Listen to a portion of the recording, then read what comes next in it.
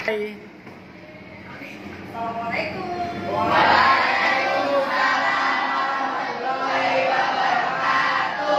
Apa kabar hari ini?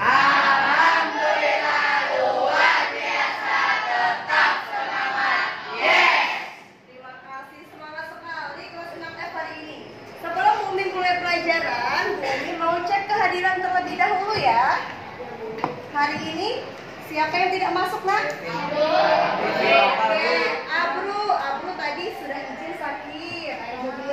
Kevin. Yair. Bapak.